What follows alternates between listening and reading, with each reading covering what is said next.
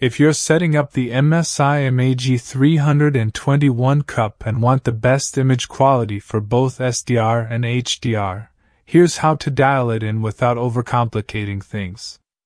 For SDR, start by switching to the user preset. You'll find it under either game or pro mode. Set brightness to around 30 if you want to hit about 160 nits, which is a good level for normal indoor lighting but feel free to bump it up or down depending on your room.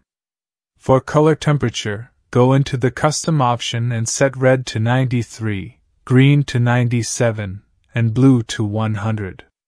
That combo gives a more accurate, neutral image. Make sure response time is set to fast. It gives you a nice balance between clarity and minimal overshoot. Turn Adaptive Sync on if you're using a compatible GPU to prevent screen tearing. Also, flip on DisplayPort overclocking in the menu so you can run 160 Hz at 4K.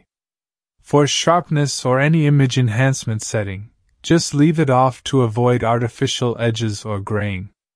If you want something easier on the eyes at night, you can switch the color temp to warm, it'll give a softer tone and skip sRGB mode unless you're doing color sensitive work, because it'll clamp the gamut and mute the vibrancy.